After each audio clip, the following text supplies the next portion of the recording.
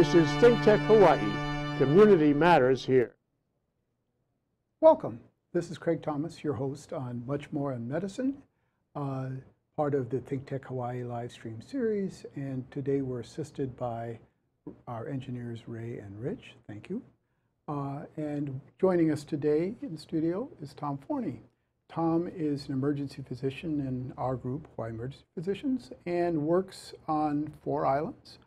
Uh, he's here today actually both for his perspective as an emergency physician, but also because um, his mission in our group and in the larger health systems is as care coordinator and uh, police of variability. So, uh, Tom, we're delighted you're here. The theme uh, recently has been where is the 18 cents out of every dollar uh, generated in the U.S.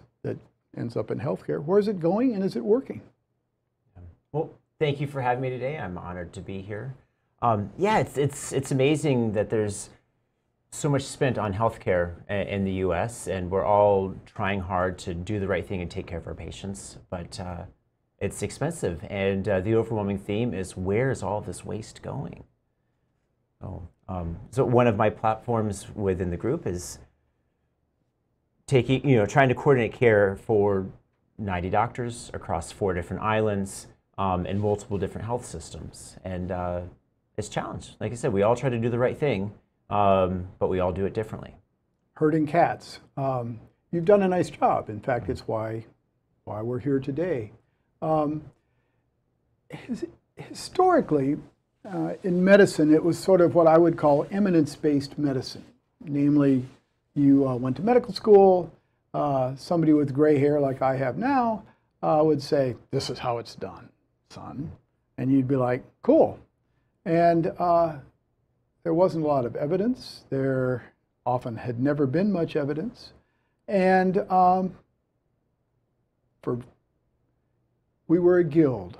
And um, uh, that was how medicine was done. And pretty clearly, a lot of it was useful. For example, do I think that uh, uh, we should stop doing appendectomies? No, although interestingly, and you can pursue this or not, uh, it looks like antibiotics work a fair amount of the time, which in my uh, training days would have been just heresy. Um, uh, but many other things we've looked at don't work. And in addition, the amount of potential diagnostic tools, therapeutic interventions, medications, all sorts of things are just landing like crazy. In fact, I refer to this whole thing as we're part of the medical industrial complex. And that means we need to scrutinize what we do and uh, shape it and look what works and what doesn't. Yeah, absolutely. It's, it's, uh, it's fascinating. It was. It was the master craftsman apprentice model for a long time with little evidence what I hear is even now, best case scenario, about 20% of what we do actually has strong scientific evidence. The rest of it is a little fuzzy. Um, yeah, knowledge is expanding, and it's it's hard to hard to keep up with everything. Um, and uh, moving, trying to trying to take that next step on how how do we take what was done and uh, improving it and making it better.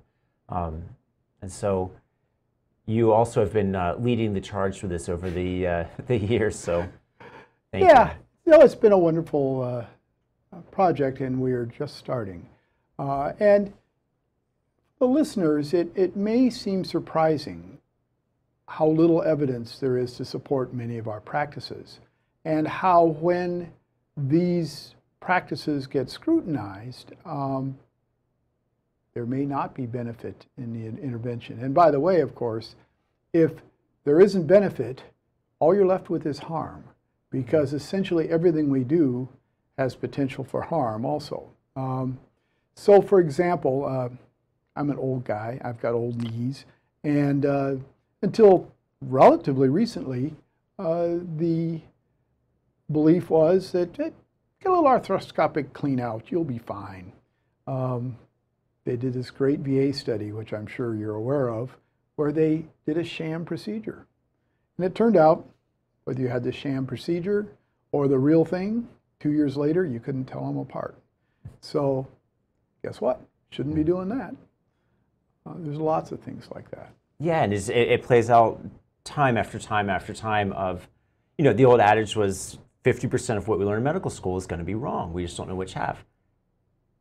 I think that's too big of a number. I think it's probably more like 70, 80%. And so that's, that's where the lifelong learning comes in and, trying to, um, to do. And, and so much of what we're trying to do with the standardization part is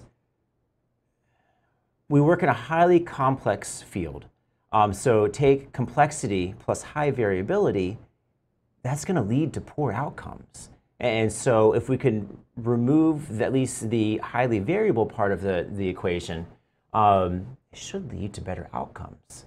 Um, and, and uh, this has been playing out, this already has played out across multiple different industries, um, whether you want to look at the automobile industry, the electronics industry, or honestly, most any other fields have already gotten this figured out. For instance, you know, back in the 1920s, if you went and bought a car, it would be customized for you but if anything broke, well, you got to go to that same person to get that part. Um, whereas the Japanese automakers in the 70s and 80s changed it to where it's highly reliable. You know what you're getting. You go to the dealership and it's done. Um, medicine is trying to get to that same place to where whether you see, you know, one of 10 different cardiologists, you'll get a relatively similar take on things. Or whether you see 10 different emergency physicians, a relatively um, standards. And again, that's our goal of across our group is whether you show up at one of nine different facilities, that you'll get approximately the same care for a similar condition. Yes, exactly. And so it strikes me that um, we have both a, a, growing challenge and, fortunately, if we implement it, uh, some solutions. And the growing challenge is that information is increasing rapidly. Uh, we're actually learning the answers to some of the questions that we thought were settled long ago and turned out were not. Um, and the question is, how do you tap that knowledge to change practices? And then, of course, the other piece is, and you have to track outcomes to see how you're doing. And so I know that's what you're working on. Um, let's talk about this challenge. What, what what should we be looking at? How do we shape behavior? How hard is it to change behavior? Um, it's it's hard. It's uh, I think the saying goes: uh, people like change, but they don't want to be changed. Um, and uh, fortunately, physicians, for the most part, are very intellectual and will respond to data. Um, and, and so, the beauty of electronic medical records and the advent of data is we're getting more and more information to be able to then share with our doctors and say, you know, here's this variability or here's how we're doing as a group. And we're all competitive by nature as well. Um, and nobody wants to be the outlier. Um, and, and, so sharing that data helps to move the needle, whether it's, you know, in a particular specific medical scenario or just general productivity or you name it. Um, I, I, think that the transition we've been going through is trying to figure out we now have all of this information. How do we use it and harness it to create a positive change? Exactly. And after the break, we're not close to that yet, but after the break, we're going to look at at least one specific example of what the data suggests, how to approach it, and why, and what were the outcomes. So hold that thought. Um, we'll also discuss after the break sort of what the initial variability in the group uh, that led to wanting to do that in the first place. Um, let's talk first, though, about variability itself. Um, can't be good. It can't. And uh, so uh, Ed Deming is a uh, famous person regarding just uh, improving processes.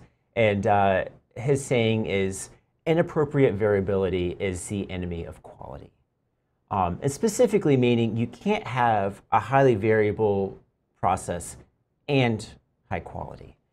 Um, and, and, so, and any outliers or too much of anything um, is not good. So if you go to a coffee shop and it's too hot or it's too cold or it's too dark or it's too light, you're not happy. Um, and hey, as so, long but, as there's coffee, I'm happy. Sorry, you're correct, of course. Um, and so it's the same thing with uh, with our industry as well. Um, if there's, you know, again, you don't want to see four different emergency doctors and get five different answers. Um, that's what we're working towards. Exactly, and it's tricky because every presentation, every individual is a little different. On the other hand, the concerns for a spectrum of presentations should be similar. So that implies that the overarching approach, trying to figure out whether the risk of a condition is low, medium, or high, and by the way, of course, you want to look for the condition you can actually impact. So is it particularly important if I diagnose on the first visit somebody with terminal cancer? Well, it'd be nice to know. It would certainly uh, help figure out how to chart the next course. But if the condition's terminal, and sadly, this is one of the, as you know, truly horrible events in emergency medicine. Somebody comes in with an ache, and you're like, you know what? That's a brain tumor. This is a life changing, awful moment. But the truth is, it's not as important that I find that as if I find meningitis or acute MI or something we can impact. Uh, so, how, how should we be thinking about stratifying the relative importance of different possibilities on arrival? Um, absolutely, and, and, as you mentioned, um, the most most processes can be disease processes can be placed into low, moderate, or high risk. Um, I think we're all in agreement on generally what to do with high risk is you you take care of it. Um, moderate risk, I think, is where the lot of lot of the variability comes into play. Um, but the low risk, there's real chance for potential harm in addition to trying to track down whatever emergency condition that there is. Perfect. Um, the, and with low risk, you probably shouldn't do anything more, or at least not much, because as we said earlier, the um, if you can't benefit from a treatment, the only thing left is harm. Uh, this is uh, Craig Thomas with Tom Forney. Uh, program is much more on medicine, part of the Think Tech live stream series, and we'll be back after the break. This is Think Tech Hawaii, raising public awareness. I just walked by and I said, what's happening, guys? And they told me they were making music.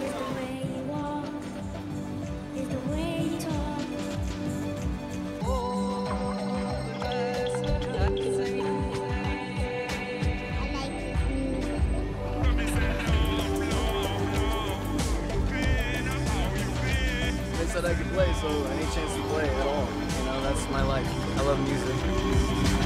Yeah, I saw it. Hi, I'm Ethan Allen, host of Likeable Science on Think Tech Hawaii.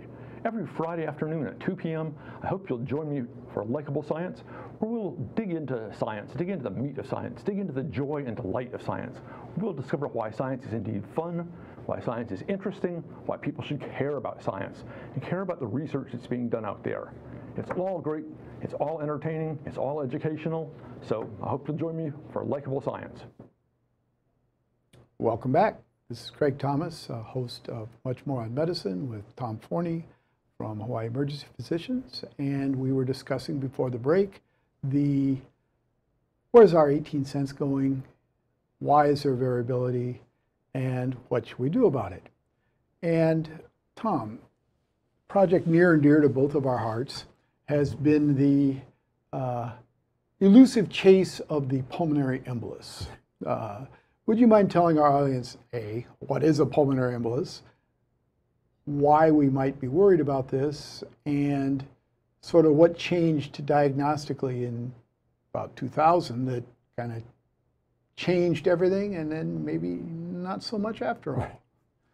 Absolutely. So, uh, pulmonary embolus is essentially a blood clot that has uh, traveled to your lungs and uh, um, has can range from a, uh, a, a small nothing to something that can potentially kill you. Um, and so for years we would hear, uh, this is a silent killer. There's more people dying from pulmonary embolism than we thought. And as you mentioned, around uh, 2000, CT imaging became much more widely available. Um, and so we all of a sudden had an opportunity to diagnose this uh, potentially deadly disease. And so we've ordered a lot more CT scans over the last 18 years. We have diagnosed a lot more pulmonary embolism over the last 18 years. Uh, but fascinatingly, the death rate has not changed at all from the disease. And so we're treating a lot more, we're diagnosing a lot more. Um, we have not impacted mortality at all.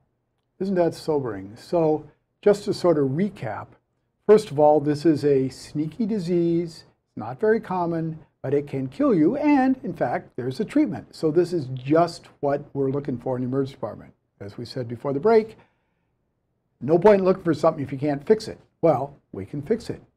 And before about 2000, our diagnostic uh, options were terrible. Um, but all of a sudden, they got good. The test is available essentially every emergency department in the state. It's pretty easy to do, and it gives you an answer. May not be correct, it turns out, but um, kind of overcalls things a bit. Um, and so we were all thrilled. Look at this. We're diagnosing tons more pulmonary embolus. And look, the case fatality rate is almost zero. God, we're great. Oh, wait. Same number of people dying every year. I guess we're uh, giving people dye, giving them radiation, putting them on blood thinners, which can also kill you, for no benefit.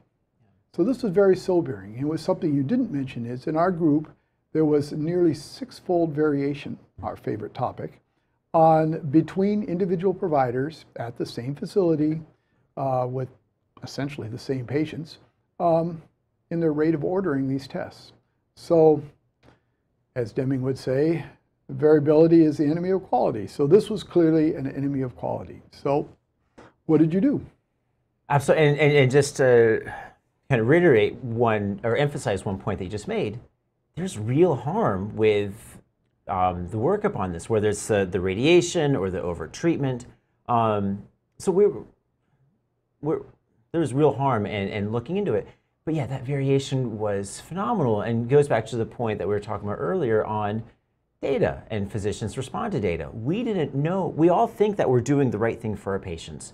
We all think we're doing what's best. Um, but not until you see, wow, there's a six-fold variation in what, what my partner next to me is doing. Um, and, and, so we took that data. Uh, we then did an extensive uh, review of the literature. And part of the reason why we were pushing the pulmonary embolism is the, the comments that you just made, but also there's pretty clear best practices on how to handle it. And so we took the best practices that are out there, implemented into a, a, a protocol for our, our physicians to follow, um, and then we've tracked the outcomes. And so far, it's been a success. The overall number of CT scans that we're ordering is dropping. The percent positive of um, pulmonary emboli that we're diagnosing is going up. And so theoretically, right, based on my understanding of the data, we're causing less harm and we're providing more benefit for our patients along with reduced um, variation, increased quality, um, and uh, overall it helps the financial system and it's uh, we're costing the entire health system less money. Which is important because then you can spend the money on other things that impact health. Uh, so I'd like to just sort of reiterate a couple things. So actually, you describe it. Um, the basic premise is depends, and you alluded to this just before the break, of categorizing people by low, medium, and high risk. And this applies to pulmonary embolus, but many other conditions. Because if they're low risk, you can't get them to zero. Uh, none of our tests are perfect. And if the risk is low enough, you should just stop. Uh, whereas if they're high risk, uh, you should proceed with therapy because, again, our tests aren't perfect and they can be falsely negative as well as falsely positive. So uh, is that a fair characterization of your sort of testing and pathway to therapeutics process, the different buckets of risk? Absolutely. And uh, as, as you mentioned, you can never get to zero risk. It just, that does not exist. Um, and the closer you get to zero risk, the more real harm that you're causing our patients um, by finding false positives and kind of unnecessary extra testing. And so, yeah, for pulmonary embolism, about the best we can do is in that uh, 98% or 2% risk of, of missing um, this deadly disease. Um, that's about the best that we can get. And, and if we try to take it any lower, we're causing real harm. Right. And in fact, you cause harm a couple ways. The tests themselves are harmful, but in addition, they have false positives. So if I do a test that's not indicated on you, I irradiate you, and then I put you on blood thinners if it's positive. But if you didn't have the disease, all I'm doing is hurting you. And so my sense, and I'm interested in your thoughts, is we doctors, and it's our fault, uh, because uh, we've often, often considered we can rule out disease or we can cure disease. And the answer is we can find a low probability of disease, and many of our therapies have a good chance of uh, achieving a cure, but it's not absolutes. And we've actually presented to the general public, which is understandably desirous of hearing this, oh, yes, we can do this. And I think we need a new narrative, uh, a more shared discussion, things are gray. Uh, how would you proceed with Yeah. that? Um, you're absolutely, I mean, it's, yes. Me- medicine is a very gray zone. There's some, some areas where, yes, we, we have the evidence, we know what to do. Um, that's about 20% of the time. 80% of the time, it's gray. And everybody has a different risk threshold. Um, so, for instance, um, well, whether it's, ah, we'll stick with the pulmonary embolism topic. If I talk to a patient say, I am 98, 99% certain that you are fine. Most patients will say, Great, I'm okay with that percentage. Um, I don't want to take the risk of, of getting more aggressive. And so, involving our patients in a discussion of saying, Here's the evidence that we have. This is, is my thoughts on your presentation. Um, how do you, how, let's, let's solve this problem together on deciding what we're going to do next. Difficult but clearly essential. So just a couple numbers to get people thinking about this in a little different way. Um, the before your project started, I think that the uh, positive study rate was right around or just under four percent. So in other words, it took 25 studies to get a positive one. Well, that's a lot of X-rays and a lot of dye um, to get uh, one positive result. And now I think it's on the order of triple that, which is way better. It implies there's a third less studies done. Um, I don't know what the right answer is. Should it be higher than 12%? Maybe. Shouldn't be 100%. That means you're missing things. But just to give people an idea, one out of 25, ah, we're probably doing too much. The other thing is physicians have different risk tolerance for themselves than for their patients. In other words, I'm much less inclined to take risk on you than I am on me. And that's probably not right. Probably I need to let you help decide what level of diagnostic and intervention and risk to assume. Bearing in mind, zero is never going to happen.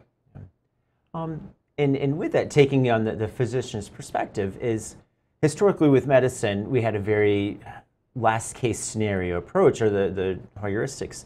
Um, and that really clouds your judgment of, well, I remember that one case that went well or that one case that, that didn't go well. Um, and now I'm, I'm basing everything off of that one case as opposed to basing it off of the general medical knowledge of what's, what's best overall. And kind of shared processes of best practice helps to take that part, that, um, that, last case, that last case bias away And let's just say, okay, this is the evidence. Let's let's treat our patients off of this evidence with reduced variability, as opposed to off of your your personal experience with that one case previously. Well, as they say, if so, you come up to me and say, Craig, remember that case you saw last night? I'm probably not going to win the Nobel Prize for medicine. Bad news travels fast. It seems like good news doesn't go anywhere. But what you described is exactly right. And it, it's partly because we all sort of still practice in silos. So I know about my bad case. I don't, and there are going to be some. This is, we can't reach certainty. Biologic conditions are complex.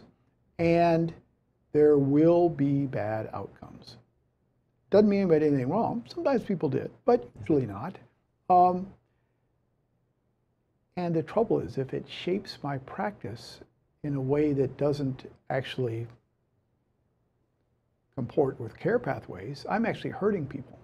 And so this is where it's nice to share data, see where you fit in the spectrum of providers, uh, see that yes, there have been uh, returns for unexpected returns for everyone else also, and uh, I think it's all part of how we use data to help ourselves and each other.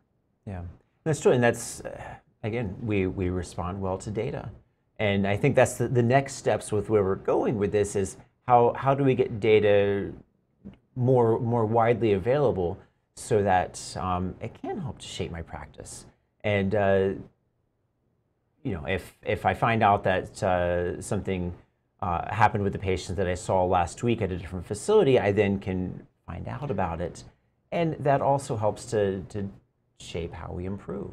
You know, Tom, it's been great having you here today because we're just scratching the surface. Uh, so we'll have you back.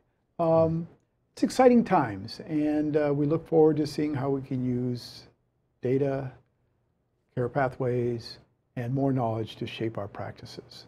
Thanks for coming. Thanks. I appreciate it. Again, uh, thank you for watching. This is Craig Thomas. Uh, we're discussing with Tom Forney uh, much in, on much more on medicine, how we're spending our money, how we're using it to impact health.